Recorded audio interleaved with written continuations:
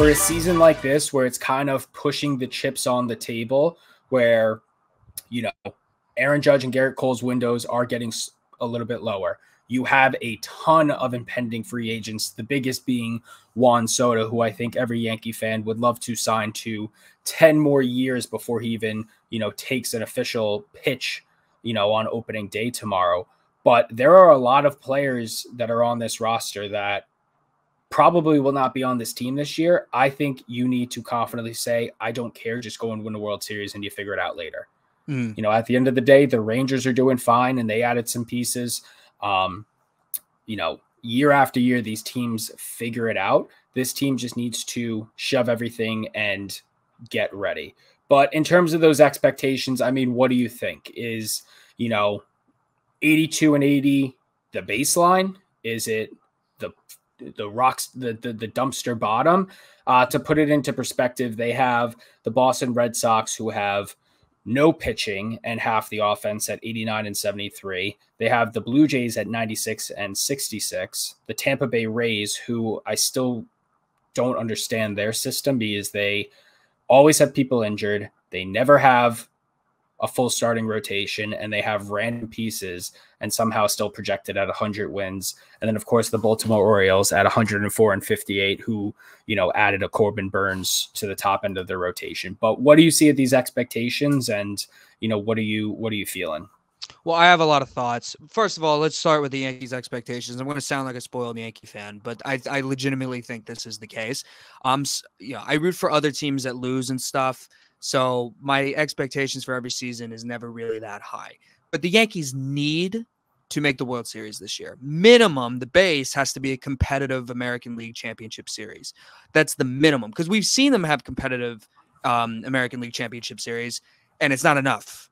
So they got to get over the hump. They got to beat the Houston Astros this year. They have enough to do it. The Houston Astros, listen, we don't know. Obviously, it's the beginning of the season our previews could be are thrown out the window tomorrow, right? Especially with baseball, because baseball is very unpredictable. I don't think anybody had Texas winning the World Series last year before the season started, especially knowing that oh yeah, Degrom's not going to be a participant. So it it comes down to like they need to get there. This is it. They have Juan Soto locked in for a year. Um, you know, worst case scenario, he leaves. If I'm the Yankees, that can't happen. Um, but you can't think too far ahead. You have to take advantage of this year. Gleyber has a reason to play well this year. Stanton has a reason to play well this, well this year. Rizzo does, right? I think this roster, from a lineup standpoint, is good enough to withstand Aaron Judge injuries. It should. Having a superstar in Juan Soto there, also more balance in the lineup. You should also get, if Rizzo's healthy, should get the season that we thought he was going to start getting when he was hitting 300 with, you know, the shift changes and all that. So I see the Yankees' expectation is you got to get to the World Series. Okay. I think we both align on that. Here's my questions. I'm so sick and tired of the people of, of baseball reporters and these baseball nerds. Let's face it, they're nerds. Okay. Saying the Yankees, the lowest projection is 60 wins. Like, when was the last time the Yankees had 60 wins? and I... did and did they have the future Hall of Famers of Juan Soto, Aaron Judge, Gerrit Cole on the roster? You're basically saying like, oh yeah, we expect the entire Yankees roster to get injured. And guess what?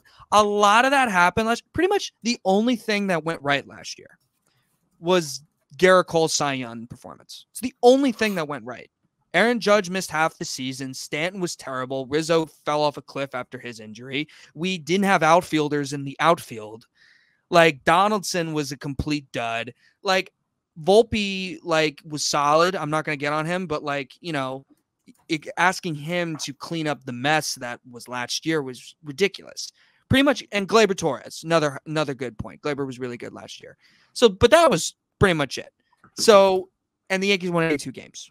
So considering that the the roster is way better, you're basically saying that yeah, we expect all these guys to get hurt. That's why we expect them to not make the playoffs. If your re, if your analysis is well, I don't think the Yankees will win the division. Um, you know, I expect the Orioles to win the division. I think that's a, I think you can health, that's fair. That, I think that's, that's fair. fair. But considering that there are people out there that are listen, they're expecting or previewing the Yankees to miss the playoffs. That means on paper, they think there are six teams in the American League that are better than them. With more playoff spots now than ever, I cannot fathom why that's the case. Yeah, and, and, and, and I'm, I'm, sorry to say this. I'm sick and tired of hearing about the goddamn Blue Jays who have done nothing year after year. The Rays have done nothing since their World Series appearance. Okay. And Baltimore, credit to them, they were a really young team. They were awesome to watch last year. They got smoked by the Texas Rangers.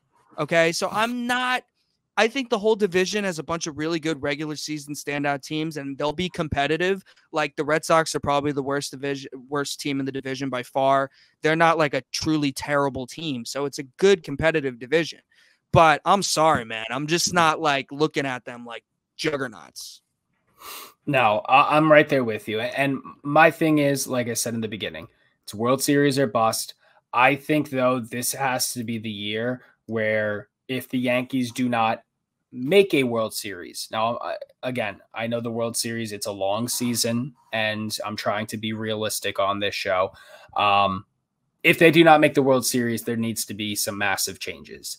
It needs to be a a clearing of leadership. I need it, to, it needs to be a clearing of personnel, and there needs to be some serious questions in how is this ship being run and navigated right now. Uh, because you know this team has too many talented players and pieces to miss another playoffs and not make a World Series. Um, well, missing the playoffs would be a complete disaster. Complete, I mean, disaster. You know, missing if if you know, and again, I do not want to make these put this bad juju out there. If this team is, you know, having some issues come August, sell.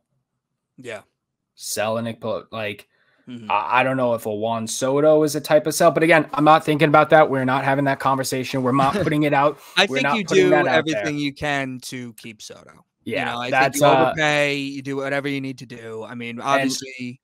An know, alternate reality that we don't need to discuss at the moment. But Scott Boras is looking to make his due back next offseason because this offseason was not good for him. Uh, I do I do give Cashman his flowers this offseason because he did address he did address some holes and he didn't overspend and mm-hmm. you know maybe they are making that case to quote unquote save money for Juan Soto.